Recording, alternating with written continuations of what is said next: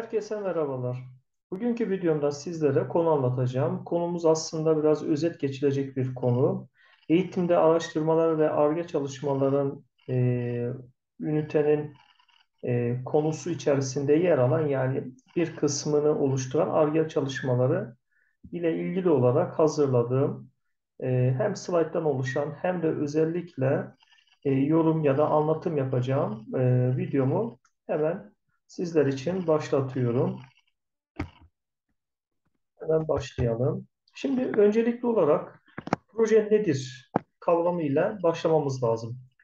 E, tanım olarak proje bir probleme çözüm bulma ya da belirlenen bir fırsatı değerlendirmeye yönelik bir ekibin başlangıç ve bitişi belli bir süre ve sınırlı bir finansman dahilinde bir takım kaynaklar kullanarak müşteri memnuniyetini ve kaliteyi göz önünde bulundurarak olası riskleri yönetmek şartıyla tanımlanmış bir kapsama, amaç ve hedefler doğrultusunda özgün bir planı başlatma, yürütme, kontrol etme ve sonuca bağlama sürecidir diye e, literatürde bu şekilde bir tanımı var. Aslında proje genel anlamda belirli bir zaman dahilinde belirli bir hedefe ulaşmak için belirli bir finansla yapılması gereken işlerin toplam nedir? Yükümlülüğü ya da işlerin e, toplamına biz proje denmekteyiz. Projelerde mutlaka belirli bir zaman diliminin olması lazım ve mutlaka da bir finansmanın olması lazımdır. Bunlar şarttır. Yani her şeye biz literatürde e, tanımı bu şekilde verilen projeye e, günlük jargon dilimizde de her şeye proje diyebilmekteyiz. Yani öğrencinin yaptığı işler bile nedir? Proje olarak değerlendirilmektedir. Burada da önemli olan e, projenin mutlaka bir zaman dilimi ve belirli bir bütçesinin olması lazımdır. Buna dikkat etmemiz gerekiyor. Diğer bir şey ise program nedir peki? Ortak hedefe yönelik sonuçların elde edilmesi amacıyla bir grup projenin düzenli olarak yürütülmesidir. Proje e, birçok proje e, yan yana gelirse ne oluşturuyormuş? Programı oluşturuyormuş. Buna e, dikkat edelim. Projenin belirli neyi var? Safhaları var. Bunlar da önemli kavramlar. Bir kere kapsam yönetim olması lazım. E, zaman yönetiminin olması lazım. Maliyet, risk yönetimi var. Entegrasyon yani bir bütün halinde işi yapabilme, yürütme kabiliyeti. Aynı zamanda iletişim yönteminin olması lazım. E, projenin diğer bir önemli elemanlardan e, ya da yapı taşlarını oluşturan kısımlardan insan kaynakları, e, kalite yönetimi, tedarik yönetimi gibi faktörler de olmalı. Yani aslında bunlar e, bizim web kitabımızdan alınan kavramlar ama genel anlamda e, önemli olan burada bilmemiz gereken projenin bir başlangıç ve bir bitiş tarihinin olduğu ve bütçesinin olduğu, bununla birlikte proje yönetiminde birçok faktörün yer aldığı, yani maliyet yönetiminin, risk yönetiminin, entegrasyon yönetiminin gibi faktörlerin ayrıca mutlaka da insan kaynakları yönetimi, kalite yönetimi ve tedarik yöntemi gibi destekleyici bilgi sahalarının da olduğunu söyleyebiliriz. Şimdi projenin bir e, dediğim gibi bir başlama vardır. Bir de kapanma en son noktası da kapamadır. Projenin bitiş aşamasıdır. E, proje bir başlama e, zamanı e, yani başlama süresi yani belirli bir zamanda başlar. Mutlaka bir planlama, bir yürütme, kontrol ve değerlendirme aşamalarından sonra kapanma ya da finalize edilme kısmı vardır. Projenin sonunda mutlaka amaca yönelik olarak bir ürün ya da çıktının olması da gerekmektedir. Zaten amacımız nedir? Ee, bir gayemiz var, bir problemi ya da bir özellikle işletmelerde e, karlı göreceğimiz herhangi bir işe girişmek için bir plan dahilinde belirli bir iş yükünü ne yapıyoruz? Ortaya koyuyoruz ve onun sonunda da e, bir çıktı ya da bir ürün elde etmiş oluyoruz proje e, yaşam döngüsü içerisinde. Şimdi buna bağlı olarak diğer bir konu belki biraz daha e, bilmemiz gereken konulardan bir tanesi de girişimcilik nedir? Yine web kitabından da alınmış e, bir kısım var. Girişimcilik ifadesine tarihçide, e, tarihte ilk kez ekonomist olan Richard Cantillon, yani bu kelimeyi de bilelim, ile rastlıyoruz. Ya da olan nedir? Tarih olarak 1755'te e, girişimcilik ilk defa 1755 yılında bu kelimeye ne yapmışız? Rast, e, rastlamışız. E, kişi de Richard Cantillon. Girişimci peki ne demek? Toplum istek ve ihtiyaçlarını karşılamak için kaynakları bir araya getiren, bu ihtiyaçları yerine getirirken risk alan, e, yeni bir ürün veya hizmet üreten kişidir girişimci. Peki girişim nedir? Yine Türk Dil Tarih Kurumu'ndan e, ifadesine göre giriş yapmak için e, harekete geçmedir. Girişimci ise ticaret, endüstri ve benzeri alanlarda sermaye koyarak girişimde bulunan kimseyi, girişim, kimseye nedir? Girişimci denmekte. Girişimcilik ise girişimci olma durumunu ifade etmektedir. E, girişimcilikte yani girişim e, ifadesi geçen her şeyde sosyal ve ticari açıdan katma değer yaratmak vardır. Aslında bir nebze nedir? Ticari bir alana girmektedir. Peki, diğer bir şeyimiz konu özetlerinden bir tanesi de TÜBİTAK destekleri. TÜBİTAK biliyorsunuz Türkiye Bilimsel Teknik Ara Teknolojik Araştırma Kurumudur. E, TÜBİTAK destekleri proje e, bazlı destekler vermektedir. Öncelikli olarak kişilerin mutlaka e, TÜBİTAK ARGIS sistemine yani araştırmacı bilgi sistemine öncelikli olarak şahsi bir kayıt yaptırması lazımdır.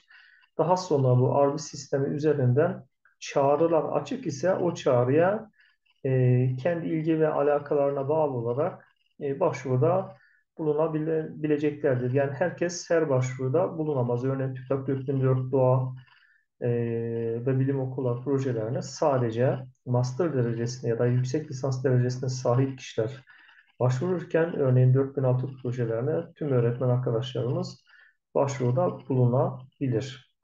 ARGIS sistemi aynı zamanda e, Türkiye'nin güncel araştırmacı veri tabanını da e, oluşturmaktadır. Yani birçok insan oraya kaydolunca bir nebze nedir? Türkiye'nin de güncel veri tabanı gibi gözükmektedir. Şimdi TÜBİTAK desteklerine baktığımız zaman mutlaka e, bilinmesi gereken kodlarımız var. Belki sınavda da çıkabilir. Bunlardan e, TÜBİTAK web sayfasına geldiğimiz zaman bilim ve toplum destekleri kısmında e, bu alandan e, bu kodlarla sizler de görebilirsiniz. Öncelikli olarak en önemli kodlardan bir tanesi 4006 destekleridir. E, zaten bunlar ulusal destektir. 4006'da e, TÜBİTAK Bilim Fuarları Destekleme Programı'dır. Buna dediğim gibi her öğretmen başvuruda bulunabilir. Herhangi bir şekilde yüksek lisans şartı istenmez. Diğer önemli bir e, kodumuz ise 4004 Doğa Eğitim ve Bilim Okullarıdır. Bunun için başvuruda bulunacak öğretmenlerin en az yüksek lisans derecesine sahip olması gerekmektedir. Bunlara göre biraz daha az popüler olan 4007'dir. Bilim Şenlikleri Destekleme Programıdır. Ee, yine aynı şekilde bu programa başvurmak için yüksek lisans derecesine sahip olmak gerekir. Okullar bunu yapamaz. Daha çok büyük kurumların, bilim merkezlerinin yapacağı türden projelerdir bunlar. Ee, biraz daha popülerisi az olan, yani az bilinen, bizim de çok da bilmemize gerek olmayan 4003 kodlu bilim merkezi kurulması destek programımız var. 5000 kodlu dijital içerik açık test kaynaklı destekleme programı. Hani bunu geçelim. Çok önemli değil. E, 4005 ve 4008'de çok da bilmemiz gereken e, kod projelerinden değil. Yani önemli olan 4006 ve 4004'ü bilsek ya da buna ilaveten 4007'yi de bilsek kafidir. E, özellikle TÜBİTAK e, projeleriyle ilgili olarak e, bir de ne var? e, bilim söyleşileri diye bir program başlattılar. Burada ise amaç alanında uzman bilim insanlarının özellikle dezavantajlı bölgelerdeki öğrencilerle buluşturma e, ve öğrencilere bilimi sevdirme. E, konuyla ilgili olarak da örneğin bilim adamımız herhangi bir şekilde biyolog olabilir. Konuyla ilgili bilgi verip bilimi öğrencilere sevdirmek amacı taşımaktadır. Bilim söyleşilerini de e, bilelim bilim söyleşilerine de başvurmak için herhangi bir şekilde yüksek lisans şartı aranmamaktadır. Aslında e, TÜBİTAK projelerinin destekleri içerisinde en basit başvuracağımız kısımlardan bir tanesi de bilim söyleşileridir. TÜBİTAK'ları atladıktan sonra e, COSGAP e, yani destekleri var. KOSGEB'in de küçük ve orta ölçekli işletmeleri geliştirme ve destekleme idaresi başkanlığının e, sağladığı fonlar var. Bunlar daha çok daha çok girişimcilik eğitimlerine, ARGE desteklerine, teknolojik üretim ve yerleştirme desteklerine ne yapılabilir? Kişi, şey, kurumlar başvuruda bulunabilir. Ee, dediğimiz gibi biraz daha özel e, konuya giren COSGAP desteklerinde bilmemiz gereken önemli olan e, COSGAP desteklerinin e, aynı zamanda nedir? E, herkes yararlanamamaktadır. E, COSGAP için belirli şartlar vardır. Yani TÜBİTAK gibi herkese açık olan bir yani okullarında başvuracağı bir konu değildir. E, bir de kalkınma ajanslarının projeleri vardır ki 26 tane kalkınma ajansı vardır Türkiye'de. O da çok da bilmemiz gereken bir konu değil. Hemen geçelim. En önemli olan Avrupa Birliği destekler TÜBİTAK'tan sonra e, mutlaka da ARGE kısmının önemli kısmını oluşturan Avrupa Birliği destekleri ya da ulusal ajansın destekleri. Türkiye Ulusal Ajansı'nın verdiği destekler. Peki bunlar nedir? E, normalde Türkiye Avrupa Birliği'ne 1999 yılından beri yararlanmaktadır. Yani bu fon kaynağından. Türkiye Ulusal Ajansı 2002'de e, açılımı ise Türkiye Ulusal Ajansı 2002'de kurulmuş. Yani o tarihten beri fon vermektedir e, birçok kuruma. Yani okul olsun, STK olsun, diğer kamu kurumları olsun destek sağlamaktadır. Da, e, Türkiye Ulusal Ajansı'nın tam açılımı ise, bunu dikkat edin, Avrupa Birliği Eğitim ve Gençlik Programları Dairesi Başkanlığı'dır. Bu çok önemlidir. E, 2000, e, 2000'den beri destek veriyor ama 2003'te tüzel kişiliğe haiz olmuştur. E, daha sonra Avrupa Birliği Bakanlığı'na e, bağlandı. 2018'de ise bu tarih önemli Dışişleri Bakanlığı'na e, bağlanmıştır ve Dışişleri Bakanlığı'nın e, neyinde alt birimi olarak çalışmaktadır. E, Türkiye Ulusal Ajansı birçok özellikle eğitim ve spor, e, gençlik alanlarında çeşitli e, fonları var. Hemen onlara da bir bakalım.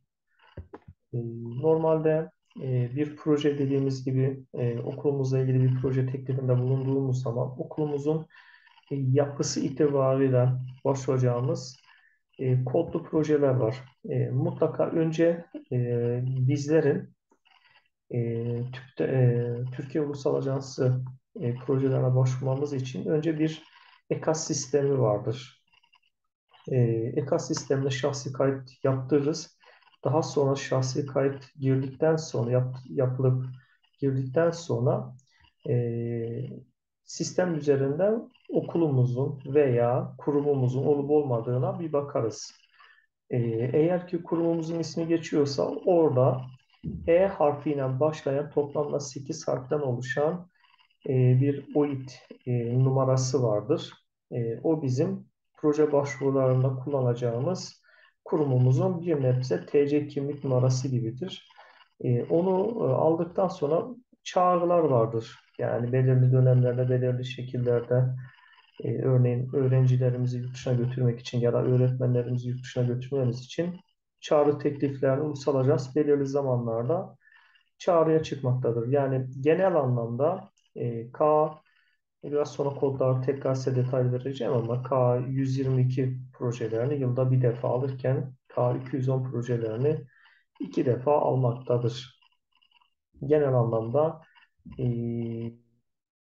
bu projelerin e, belirli bir e, zaman dilimi içerisinde başvurulup e, daha sonra e, kabul olduktan sonra projemiz e, belirli sürede bizim bu projelere uygulamamız lazımdır. Genel anlamda e, bu tür projeler 12 ay ile 36 ay arasında olabilmektedir.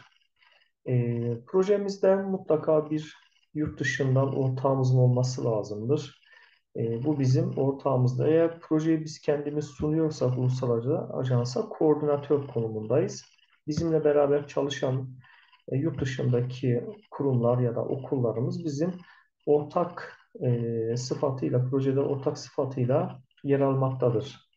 Aynı zamanda e, bir de e, kimi zaman e, tam olarak projede yer almayan, katılımcı göndermeyen associated partner dediğimiz bize yardımcı olan projemizin gerçekleşmesi için destek veren nedir? Ortaklarımız da olabilir. Örneğin belediyeler gibi.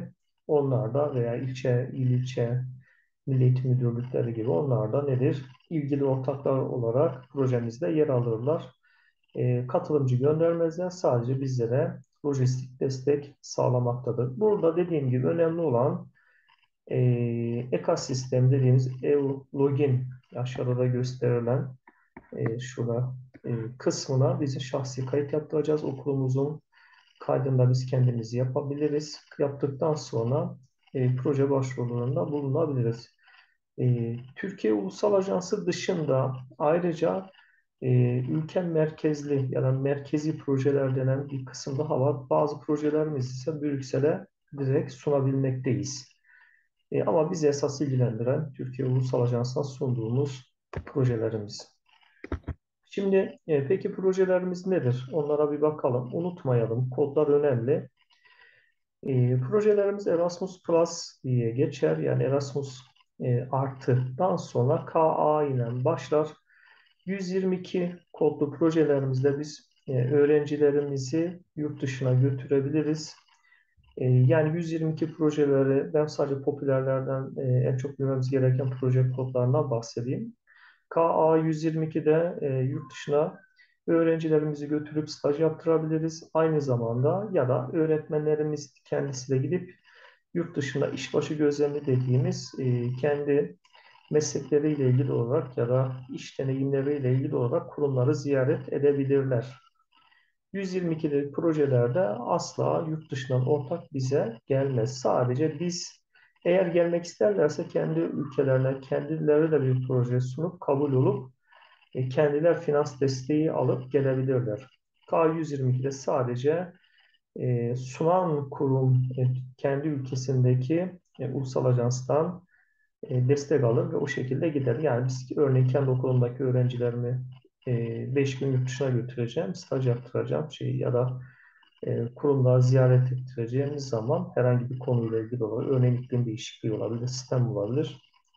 E, kendi okuluma destek alırım, okulu ziyaret ederim yurt dışında, tekrar gelip dönerim. E, ama onlar gelmezler yurt dışındaki ortağımız. 122 kodlu projelerimiz bunlardır. E, 210 kodlu projelerimizde ise e, bunun e, biraz daha kapsamı geniş olan bu projelerdir. Onlarda ise yurt dışından ortaklarımız e, biz gideriz, onlar gelir ya da sadece biz o ülkeye gideriz ya da e, onlar sadece bizim ülkemize gelebilir ya da üçüncü bir ülkeye hep biz gidebiliriz, onlar da gidebilir.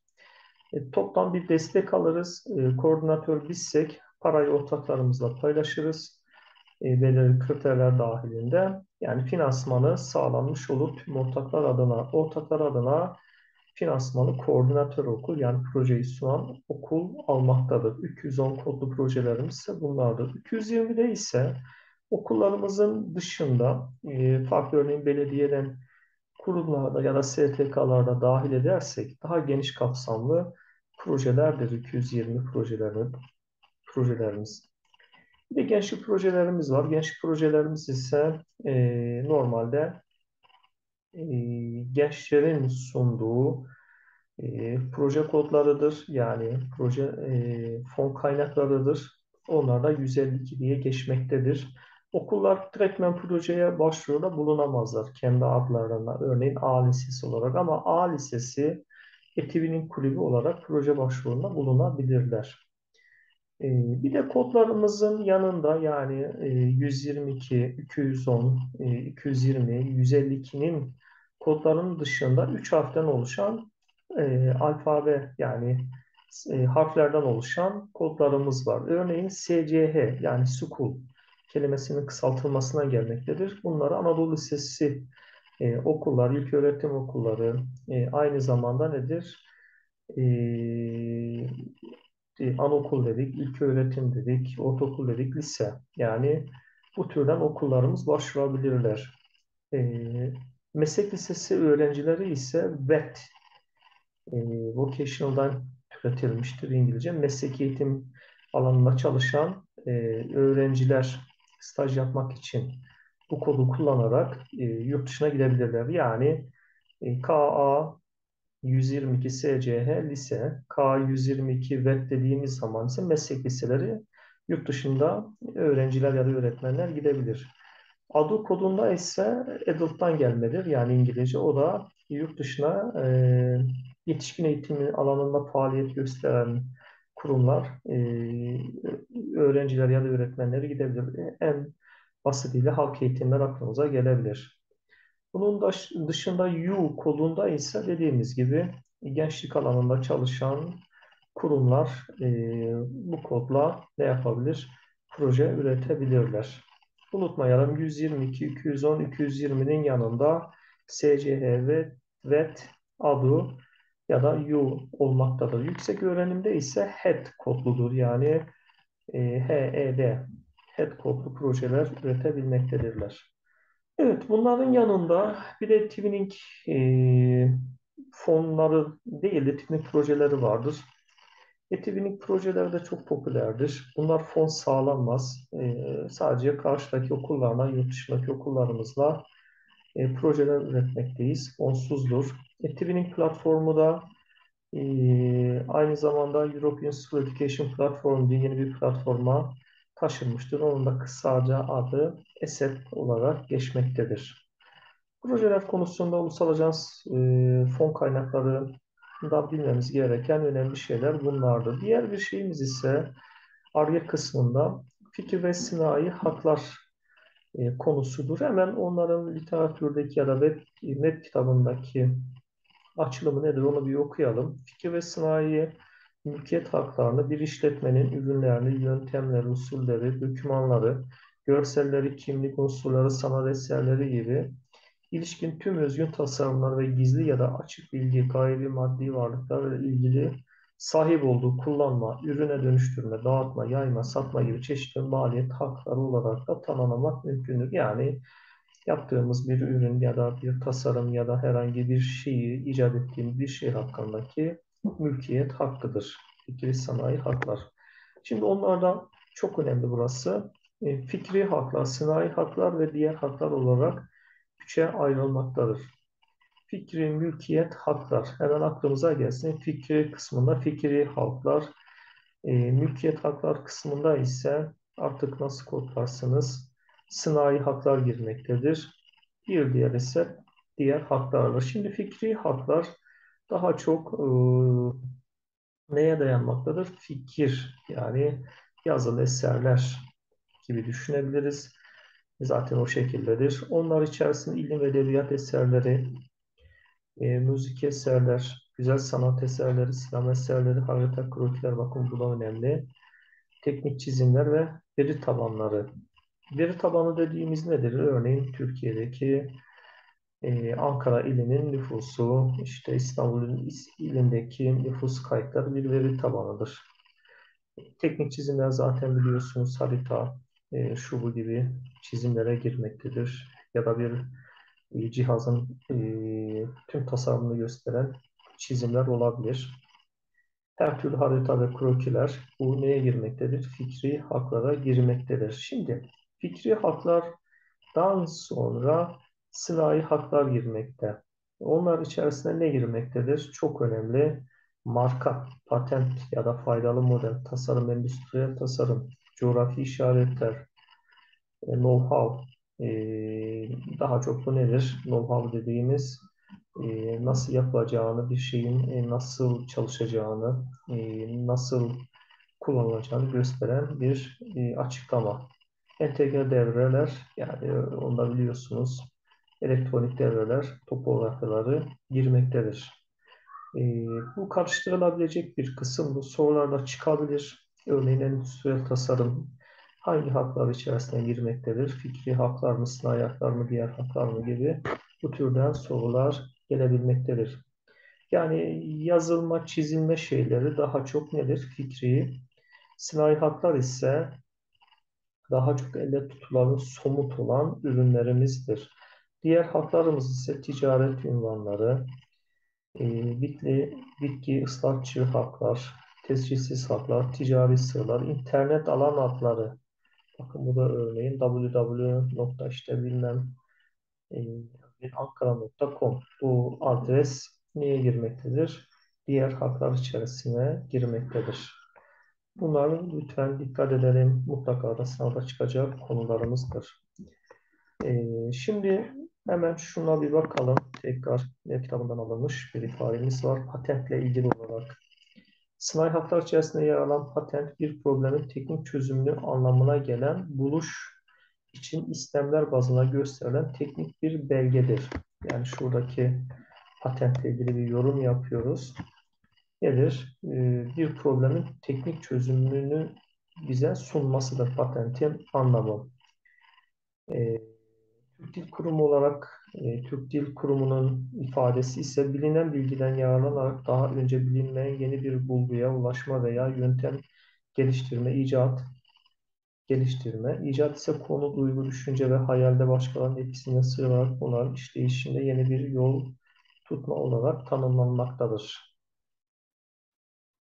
E, buluşlar, bunlar bize nedir? Buluş ve icat, icadın Türk Dil Kurumu'nun tarafından tanımını söylemiş olduk.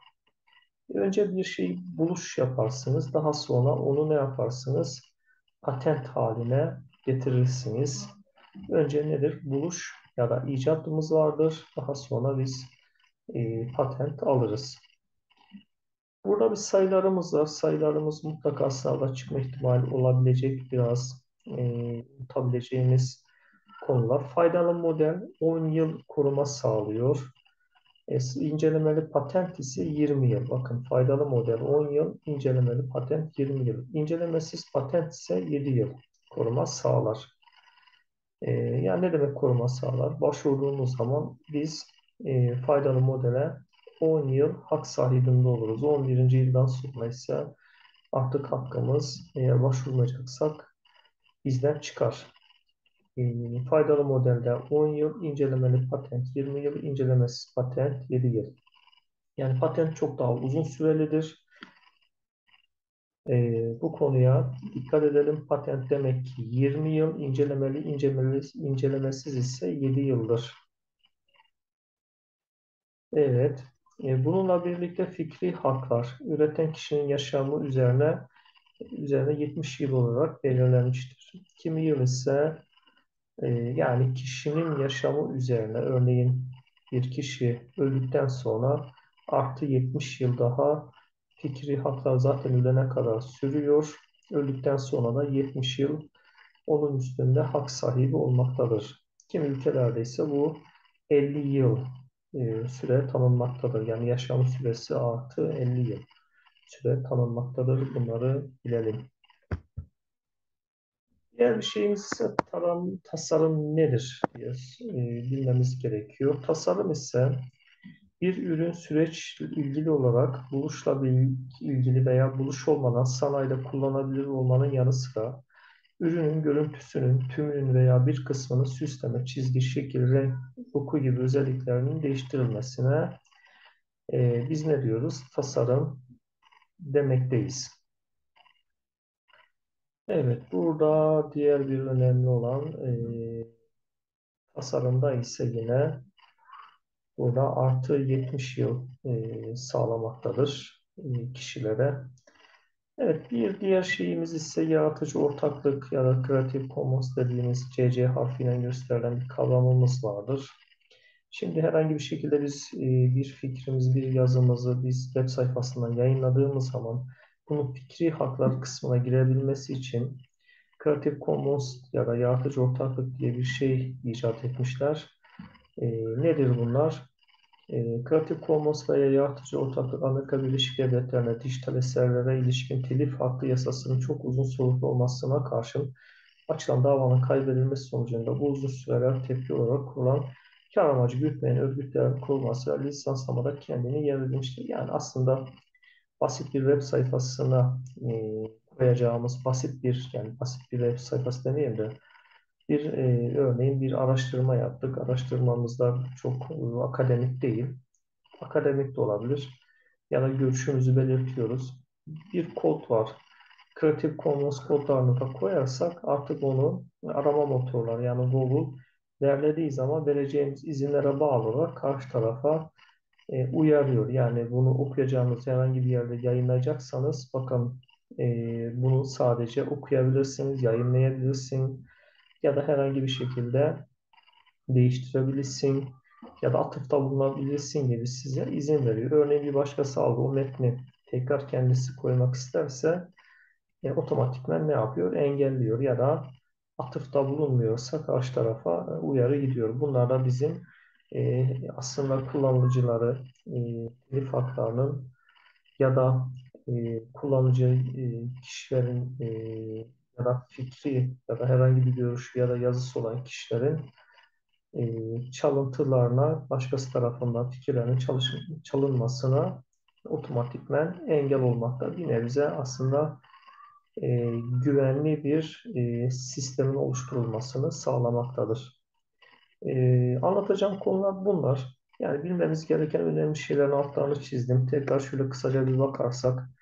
Yani e, faydalı modelin 10 yıl olduğu, incelemeli patentin 20 yıl, incelemesiz patentin 20 şey 7 yıl olduğunu bilmemiz lazım.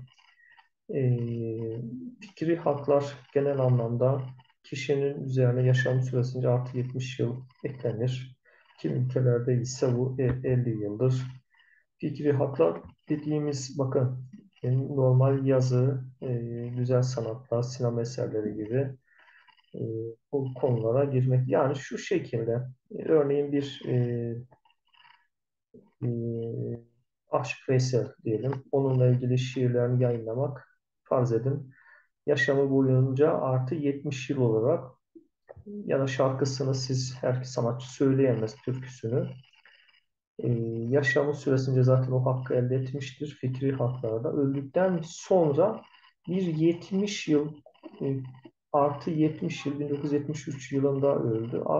1973 yılına artı 70 daha eklerseniz o süre bazında mutlaka e, izin alınması lazımdır. 70 yıldan sonra ise artık e, işte örneğin Aşk Veysel'in türküsünü reklamlarda kullanmak yine bize serbest olacaktır. Bu cümleden bunu anlıyoruz. Buna dikkat edelim. E, sınai hak, e, fikri mülkiyet haklarımız, fikri haklar, sınai haklar ve diğer haklardı. Bu çok önemliydi. Bunları ezberleyeceğiz artık. Evet, çok daha bilmemiz gereken proje kodlarımız var. 210, 200, 122, 210, 220. Kodların yanında SCH, VET, ADO, e, U ve HEAD kodlarımız vardı. Bunu bilelim. E, OIT numarası vardı. OIT numarası E harfiyle başlar. Büyük E ve 8 e, sayıdan oluşur.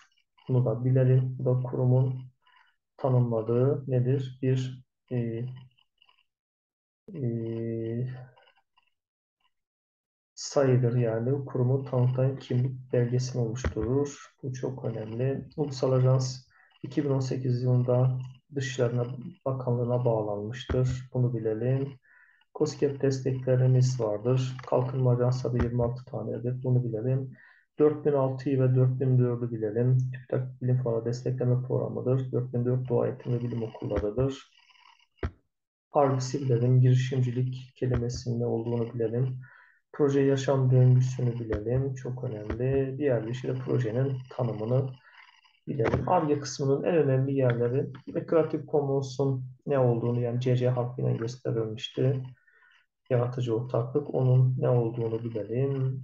Program ise en az bir e, en az iki tane projenin yan yana gelmesiyle e, olan e, nedir? Bir grup projeye de ne diyorduk? Biz program diyorduk. Kısaca özetimiz bu. Arge kısmı biraz sıkıntılı, biraz e, öğretmen arkadaşların yapamadığı kısımlardan, en azından bana ve çevremdeki insanlardan duyduğum, bildiğim e, Arge kısımlarına zorlanıyorlarmış. E, kısaca buradan bahsettim. Önemli yerleri altını çizdim. Umarım faydalı olmuştur. E, kusura bakmayın kimi zaman anlatımlarımız sıkıcı olabiliyor veya e, iş yoğunluğundan dolayı hazırlamak ve akabinde tekrar onları sunmak yorucu olabiliyor ya da en azından e, ne derece faydalı oluyor bilmiyorum ama e, kimi zaman dediğimiz gibi istediğimiz tempoda anlatamıyoruz. E, Herkese kolaylıklar diliyorum. E, videoyu beğenirseniz sevinirim. Birçok arkadaşımıza da bu vesileyle ulaşmış oluruz. İyi günler.